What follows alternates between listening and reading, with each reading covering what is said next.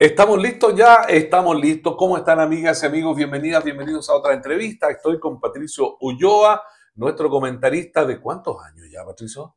Creo que cinco años. Como cinco años. De hecho, no teníamos canas hace cinco años, ni él ni yo. Yo tengo más. ¿Cómo estás, Patricio? Muy bien, gracias. Bienvenido.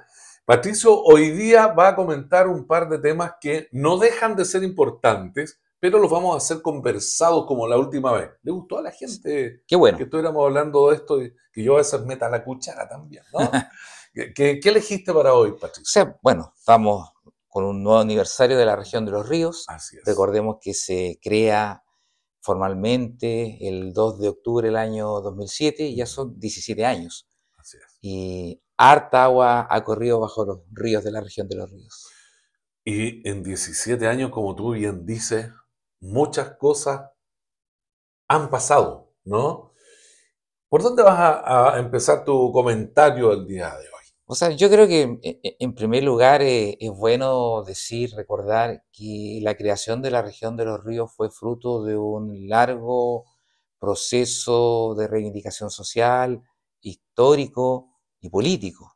Muy, muy anterior, por lo demás, Patricio, a la fecha de creación de la. Claro, esto recordemos que es tiene... de larga data, ¿no? Es de larga data mm. porque recordemos que en el orden administrativo del Estado de Chile bajo la Constitución de 1925, eh, la provincia de Valdivia tenía un estatus equivalente a una región mm. y posteriormente, tras el golpe de Estado cívico-militar, con la reforma administrativa, se crea un nuevo orden administrativo eh, con la creación de las regiones. En este caso, las provincias de Valdivia, Osorno, Yanquihue y Chiloé pasan a formar la región de los lagos y con eso obviamente Valdivia pierde el estatus que tenía hasta la creación de la región de los lagos.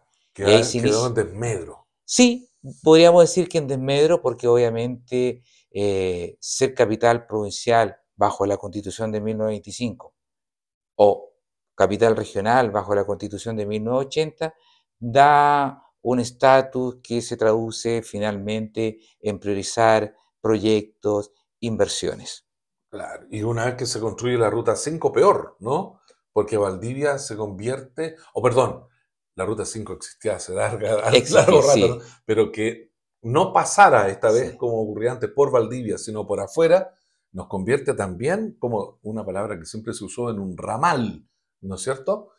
Eh, también fue en desmedro de una de las ciudades más importantes en la historia de Chile, Patricio. Sí, bueno, ahí, ahí, ahí podemos conversar. Santiago podría haber sido la segunda, con los lavaderos de oro, en fin. En algún minuto hay algunos libros Benjamín Subacasó podría revisar uno. Bueno, y, podríamos, y podríamos decir, ya que todavía estamos conmemorando las fiestas patrias, que fue una de las últimas ciudades en incorporarse a la naciente República de Chile y una de las leales a la corona española. Así es. Ah, ah, pero continuando con el tema del aniversario de la región de los ríos, hay que decir que después de este cambio de estatuto, eh, por parte de dejar de ser provincia la constitución de 1925 y pasar a ser, continuar con el estatus de provincia bajo la constitución de 1980, se inicia todo un proceso de reivindicación de lo que se ha denominado eh, las fuerzas políticas, las organizaciones sociales, las fuerzas vivas de la comunidad, como se decía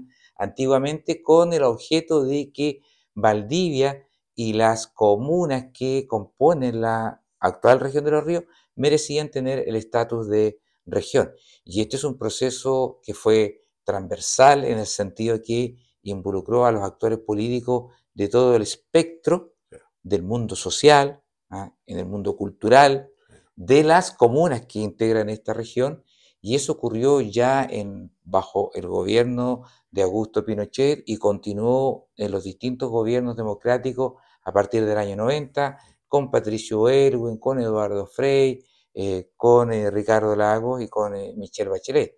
Y además hay que dejar presente que se inició una serie de iniciativas público-privadas que tenían por objeto aportar para la constitución de esta joven región, con 17, adolescente región, ¿no? con 17 años de existencia. Si, las personas que nos están mirando son jóvenes, por ejemplo, deberían saber que en ese estatus del que nos cuenta Patricio, en que formamos parte de una región que era muy extensa, hasta Chiloé, las oficinas públicas no estaban aquí, estaban en Puerto Montt, ¿no? Y había que ir a hacer todos los trámites a Puerto Montt. Por ejemplo, para que tengan una idea.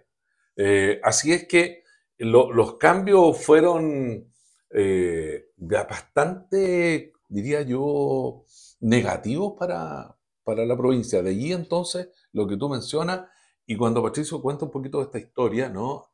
Gobierno tras gobierno, o sea, estábamos sufriendo bastante los que vivíamos en esta tierra, y de ahí entonces todos esos movimientos de la sociedad de esta provincia hasta entonces por conseguir una región para, para Valdivia, ¿no? Mm. Ahí entra a tallar a TV Valdivia con el único documental que existe de esta, de, esta hazaña, podríamos decirlo. ¿Por qué no? ¿No es cierto? Eh, viajes. Mira, afortunadamente, claro, hay un, tienes que haberlo visto todo el, documental, que dura como 32 minutos, pero tenemos un montón de cintas donde hay mucho más, más entrevistas. Algún día haremos un trabajo con eso, porque la verdad es que fue muy importante lo que se consiguió y quiénes lo hicieron. Eh, yo hice un comentario bastante, con bastante molestias algunos días, porque se realizó un aniversario, pero casi cerrado. No voy a decir entre cuatro paredes porque había una transmisión en línea, pero que, de la que nadie se enteró, penosamente. ¿no? Yo estoy muy contento porque eh, algunos amigos que estuvieron a, cargo de ese trabajo los conozco, y todos necesitamos hacer nuestra labor, ¿no? El streaming, en fin.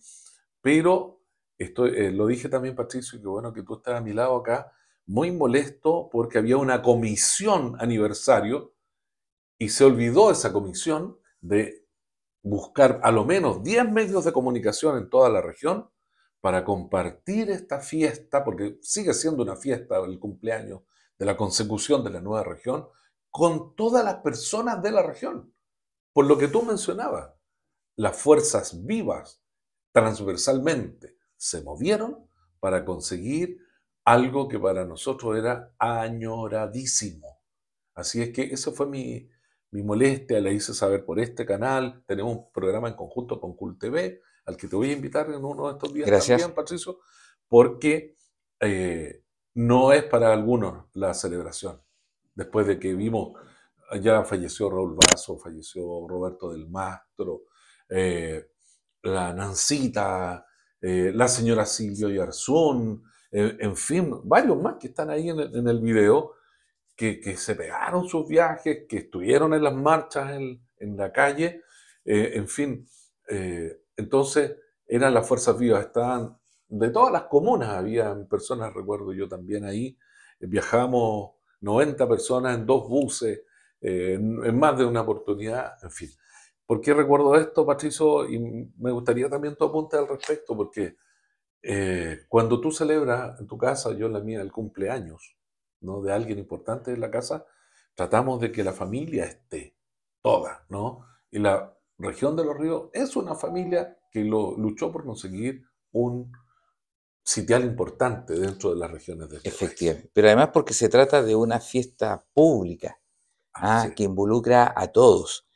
Y creo que también es el momento de hacer un análisis en términos de que uno podría decir de qué ha servido mm. tener una región, una estructura político-administrativa con una capital regional, dos provincias, 14 comunas que le, 12 eh, comunas que le integran, perdón, de, finalmente de qué ha servido. Mm. Y yo creo que ahí en el análisis crítico uno podría decir que eh, la región, la estructura político-administrativa, está leve. Mm. ¿ah? Uno siempre tiene que aspirar al más y no quedarse con el menos. Y en eso creo que por ser una región eh, nueva, tener energía, tener expectativas que probablemente no se han canalizado en su totalidad. Eh, por ahí se dice mal de mucho... Consuelo de tontos. De tontos, ¿no? Pero la verdad es que eh, es una región que tiene características para poder imprimir un sello distinto. Tiene una población inferior a las 400.000 habitantes, tiene una baja densidad poblacional, tenemos accesos a ríos, a lagos, a mar, eh, hay una potencial de inversión. De hoy día las inversiones, de, eh, perdón, de la, el nivel de exportaciones de las regiones del orden de los 400 millones de dólares. Podríamos, e, esperamos que en la, estrategia de desarrollo regional eso apunte a, duplicar o superar los mil millones de dólares en, en un mediano plazo, que se traduce, por ejemplo, en más empleo para la región, en más ingresos para la región y generar, generar un circuito virtuoso de la economía. Patricio, habrá, disculpa que te interrumpa, habrá una desconexión de las autoridades con, con la región a propósito de lo que tú mencionas, porque con tanto potencial, hace rato deberíamos estar mejor y no cerca, o sea, o no en las dos cifras de desempleo, por ejemplo, el día de hoy según el último termómetro del INE. Bueno, yo creo que lamentablemente cuando uno hace lo mismo toda la vida y pierde eh, eh, ¿La, visión? La, capacidad de desafiar por hacer cosas distintas, eh, quedamos de alguna manera empantanados. Mm. y yo creo que un gran problema de, la, de la propia región de los ríos y que afecta a la política nacional y al Estado en general es que nos comportamos en muchos aspectos como un país desarrollado en circunstancias que no lo somos. Mm, mm. Entonces tenemos hábitos, prácticas, costumbres propias de un país desarrollado en circunstancias que no hemos resuelto los temas que nos impiden ser un país desarrollado. El nivel educacional, la salud, donde más de 5.000 personas, más, más de 5 millones no han terminado sus estudios. Bueno, entre otras cosas, claro, pero además tenemos, tenemos el tema eh, previsional. Por supuesto, no son temas propiamente de la región, pero donde la región pudiera apuntar eh, claramente. Tenemos una expectativa de vida que en el caso de las mujeres es de 80 años, pero en el caso de los hombres es de 75 años. Entonces, cuando digo que nos comportamos como un país desarrollado, en circunstancias que no lo somos, la inversión, en mi concepto, no tiene la prioridad que debería tener. La inversión del gobierno regional directa, mediante convenios de programación, o que de alguna manera puede incidir también respecto de la inversión sectorial a través de los distintos ministerios. Eh, recordemos que la inversión regional en proporción a la inversión nacional es de 1 a 10. Entonces, eh, uno siente que no se le da la suficiente prioridad para resolver el tema habitacional. Compra de terrenos, por ejemplo, para autogestión, o no se le da el suficiente énfasis en el tema de la salud para terminar con la maldita lista de espera, en que nosotros nos engañamos y hacemos un barrido anualmente de la lista de espera en salud. No, no, no, bajó, pero bajó porque la gente murió, bajó porque la gente de su bolsillo eh, pagó la solución médica o porque un tercero o porque se buscó solución en el ámbito privado, etc. Entonces creo que una gran crítica y una invitación a ser autocrítico a quienes dirigen la región, a quienes son parte de la región, consejeros regionales, eh, por ejemplo, los propios alcaldes, los concejales, los parlamentarios, es que esta región tenga la capacidad de resolver los temas que impiden que seamos, por ejemplo, una región del siglo XXI, una región desarrollada. Lo que uno siempre escucha, eh, bueno, tú sabes que antes de estudiar la carrera de periodismo, yo estudié la de técnico en turismo. ¿no? A eso vine a esta zona. Y yo me cansé, como le ha pasado a muchas personas que estudiaron carreras relacionadas con el turismo y su desarrollo, su crecimiento. Porque a la larga no ves políticas serias al respecto. Potentes, eh, que, que den un, un, vuelco de timón de manera que diga, ok, por ejemplo, eh, lo que uno observa, yo hace rato que no voy a Pucón, pero después de una determinada hora las calles de Pucón se cerraban y se ponían los restaurantes con mesas en las calles, le daban todo un cariz turístico, eh, estoy hablando un pequeño ejemplo ahí nomás, pero la gastronomía no, no se quejaba de nada, porque mm. sobra, mm. sobra. Y, y, los, claro, eh, todas las bellezas escénicas estaban, pero también aquí están, ¿no? Entonces, Yo recuerdo, eh, muy cortito, que ahí en la costanera, frente al ex helipuerto, un restaurante puso una terraza muy bonita. Y lo recuerdo bien porque nos prestaron una esquinita en las mañanas para hacer el matinal en vivo. Y, y luego pasó un tiempo, no mucho, y un camión estaba con una grúa sacándola y llevándosela, retirándola, porque no tenían permiso, una cosa por el estilo, mm. ¿no? En vez de haber conversado, por último haber pagado una multa, y después la autoridad pensar, oye, ¿qué pasaría si todos tuvieran una terraza tan bonita como esta, mirando hacia el río? Entonces, cuando eh, yo no, me acuerdo muy bien de ese momento, porque ahí tú dices, oye, eh, ¿qué, podría suceder? ¿no? ¿Qué podría pasar? Es lo que uno se pregunta, Patricio. Eh, si fueran políticas donde se tendiera justamente a darle un realce al turismo.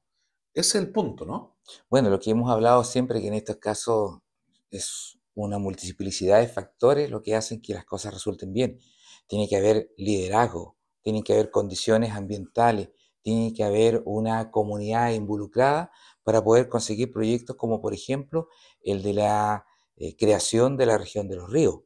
Eh, en segundo lugar, y a propósito de lo que tú señalas, uno podría preguntarse cuál es la diferencia entre Panguipulli, Pucón y Villarrica.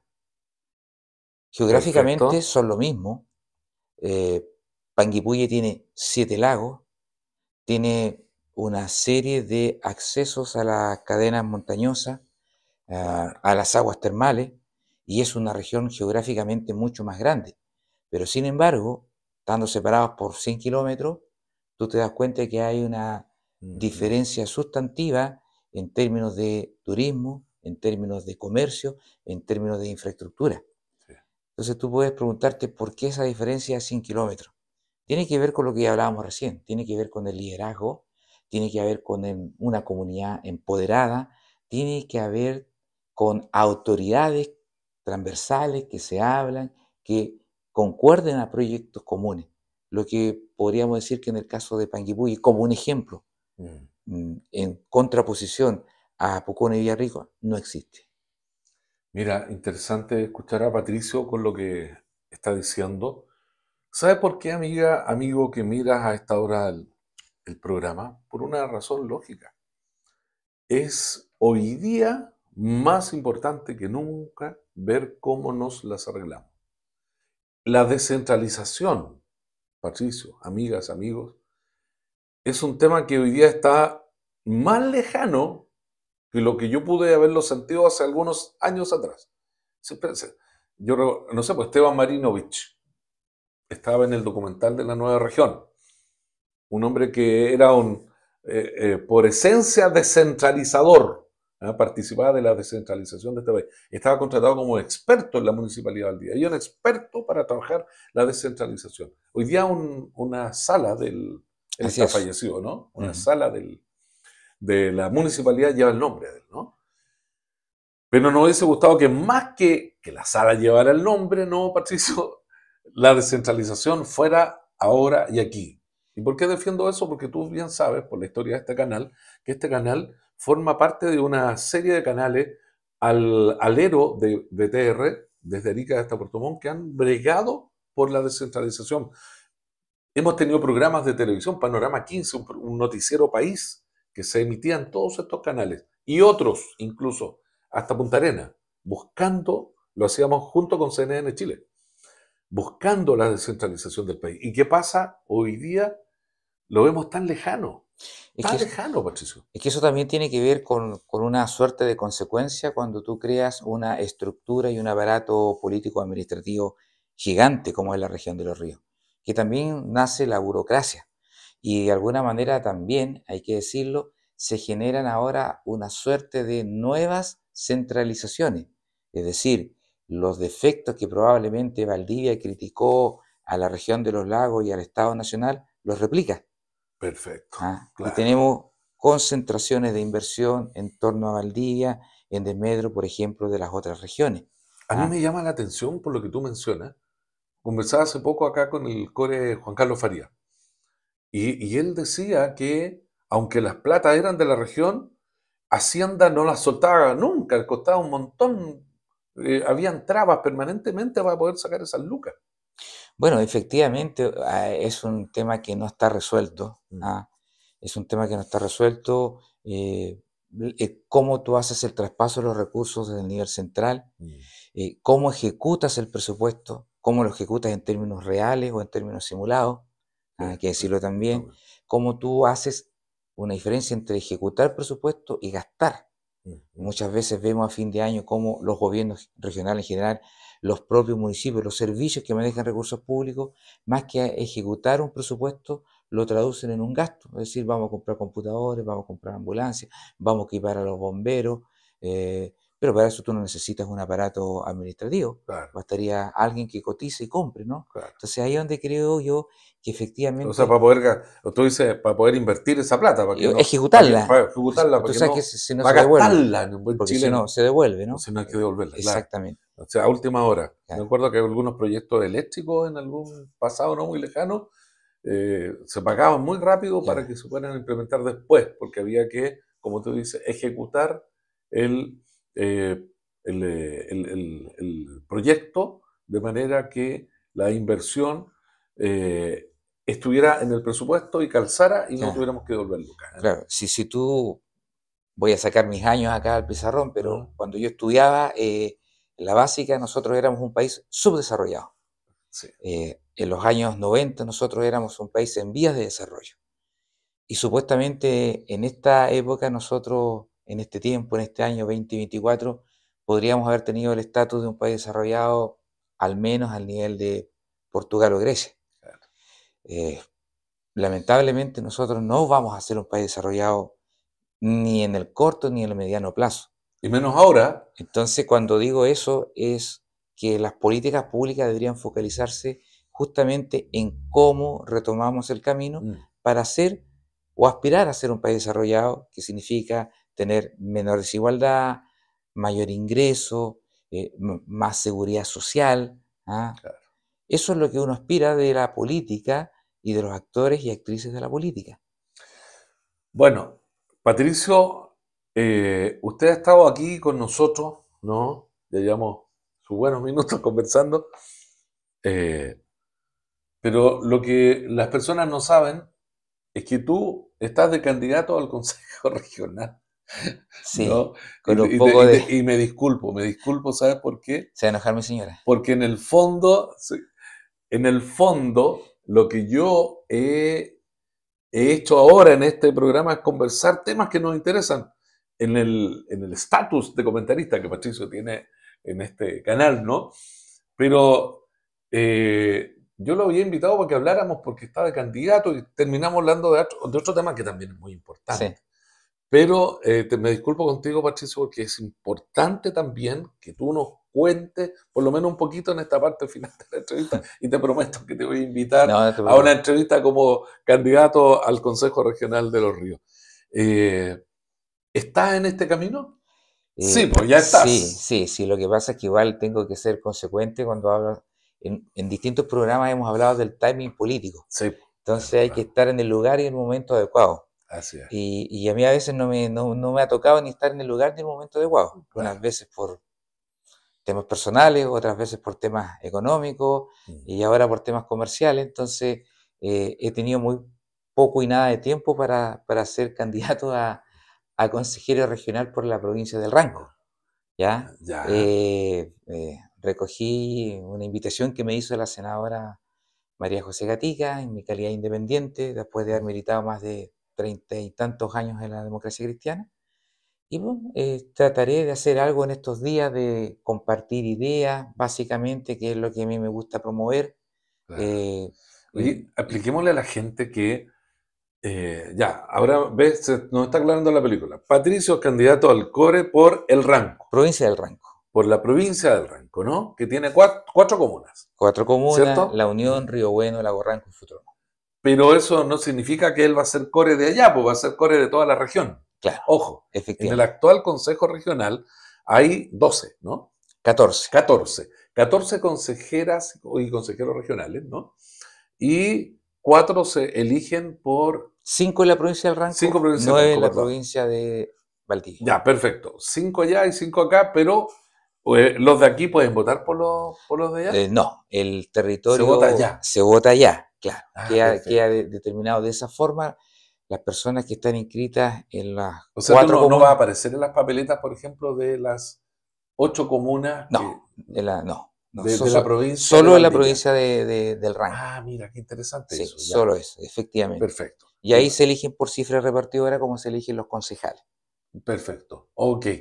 Y eh, Patricio, eh, ¿cómo estás? Pues cuéntame. Eh, Eh, mira, la verdad que un poco oxidado, eh, en el sentido de que yo estaba muy retirado de la política, he estado en el mundo privado, dedicado a, a temas comerciales, en la región del Biobío, pero tú Araucanía. tienes una larga experiencia en, en eh, asesoría a personas Claro, que, que hoy día tienen un estatus muy alto sí. en la política. Suele ¿no? pasar que hay algunos que somos buenos para asesorar, pero malos para dejarnos asesorar. Claro, claro. Y yo trato ahora de ser un poco consecuente con lo que he planteado, por lo tanto, eh, mi objetivo es promover ideas.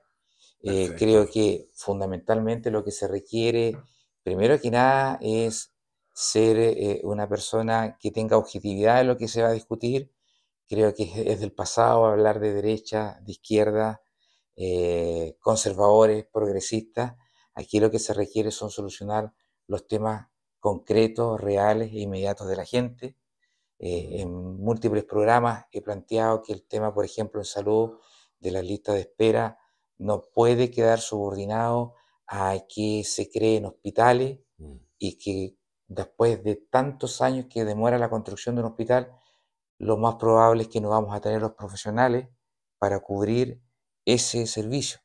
Entonces, creo que desde el gobierno regional se pueden desarrollar programas pilotos a través de los cuales, por ejemplo, se puede crear un fondo de listas de espera para que la solución se haga donde usted lo requiera Claro. Y con, y con suma urgencia. y con suma urgencia. O sea, en lo público, perfecto, en lo privado, perfecto, en el extranjero, ¿por qué no? Hay ya iniciativas pilotos que existen en que se van a atender personas, por ejemplo, San Carlos de Bariloche, o en el caso de la región de Arica, Parinacota, en Tacna. Lo que queremos es que la gente se solucione sus problemas hoy día. Cuando seamos un país desarrollado, podremos ver si queremos un hospital de 10, 15 pisos, de color blanco, de color beige, De Ah, estrellas. con ascensores, con Ah. todo lo que usted quiera. No somos un país desarrollado, no tenemos los recursos de un país desarrollado y por lo tanto tenemos que actuar de manera eficiente con los pocos recursos que tenemos. Eso, por ejemplo, en salud. Claro. Lo mismo en tema habitacional. En el tema habitacional, a la tasa de construcción que tenemos hoy día y de soluciones habitacionales que se entregan, lo único que va a ocurrir en este país eh, y en esta región es que vamos a seguir aumentando el déficit habitacional. Entonces, ¿por qué no de sentido común, como es mi eslogan? ¿Por qué no entonces el gobierno regional, que ya lo está haciendo, pero de manera más intensa, compremos terreno, pongámoslo a disposición de los comités de vivienda y en vez de que esperemos las licitaciones para la construcción de vivienda, el Servio podría perfectamente generar un proyecto de autoconstrucción, como se generaron en los gobiernos de Eduardo Frei Montalvo y Salvador Allende en los años 60 y 70, Mm. y que son realidades. Hay una población de autoconstrucción acá Mm. en Valdivia y en general en muchas comunas de este país existen viviendas construidas bajo ese formato. Insisto, hay que dar prioridad, hay que tener sentido común. Y esas son cosas concretas en que no hay que ir a Harvard, no hay que haber hecho un curso por la NASA para poder plantearlas, discutirlas y concretarlas. Qué interesante. Estamos al debe muchas cosas también, ¿no? En esta región de los ríos. Patricio, y la gente del Ranco, si va a ir a las urnas y, y se ha convencido con lo que tú has dicho el día de hoy, bueno, a mí no me tienes que convencer de nada porque ya somos amigos, nos conocemos mucho tiempo y, y, y Patricio, además, el, el comentarista político más acertado de este país, como digo yo, ¿eh? nunca se ha equivocado en sus juicios, emitidos por supuesto a través de las plataformas de ATV, pero tenemos tantas amigas y amigos que, que nos ven también en la, en la provincia del Ranco. Así es que, y si la gente del Ranco quisiera, ¿no? elegir, pues no podemos usar la palabra aquí con B corta, ¿no? ¿Mm? Pero si, ¿qué, tendría que, de, qué letra y qué número? Bueno, yo soy el candidato con la letra I y el número 103. Carlos perdón, dígaselo ahí, perdón. Sí, soy el candidato a consejero regional por la provincia del Ranco con la letra I, número 103. ¿103? Tres. Amigas y amigos del Ranco, bueno, nuestro comentarista también está en esa línea, nuestro colega también está, nuestro, lector de las noticias, en fin. Es, difícil abstraerse cuando uno conoce tanta gente, pues, tanta gente que, en 30 años llega a un canal de televisión, no es un tema menor.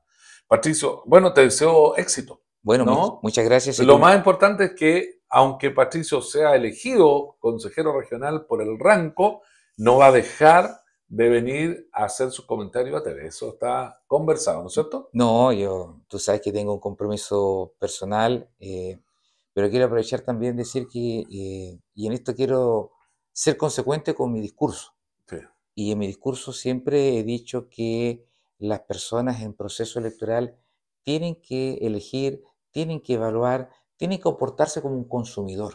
¿ah? Tienen que eh, evaluar con su presupuesto, que en este caso es su voto, cuál es el mejor resultado que van a tener. Yo soy una alternativa, me pongo a disposición, creo tener las competencias, la experiencia, la capacidad y el conocimiento en general de la región y particularmente de la, de la provincia del, del Ranco y, de la Unión, donde viví hasta, hasta los 20 años. Si estaba acá en Valdivia ha sido por razones fundamentalmente de, de estudio y laborales. Así que, Luis Alberto, yo te quiero dar las gracias por la oportunidad y bueno, con toda seguridad estaremos comentando las elecciones el 26 y 27 de octubre próximo. Sin duda, así será, así será. Oye, muchas gracias Patricio. Y te dejo invitado ahora, voy a hacer una entrevista solo como candidato, no como lo he hecho con tantos. Bueno, ¿ya? ¿Cómo no? Ok, muchas gracias Patricio. Gracias, que Me despido aquí en pantalla con eh, Patricio Ulloa Heinson. Ese apellido me cuesta Heinson. Sí. Heinson, ¿no? El apellido de la mami. Sí, de la mami. Y del papi. ¿Cómo están los papás? Los papás están muy bien, gracias. Sí, ahora sí. Están muy con bien. la salud ahí. Las oraciones han dado sus frutos, Así ¿no? es. Perfecto. Chicas, chicos, amigas, amigos, donde quiera que estén. Bueno, este es ATV Valdivia y siempre con algo interesante para ustedes. Hasta la próxima. De nuevo, Patricio, muchas gracias. Gracias.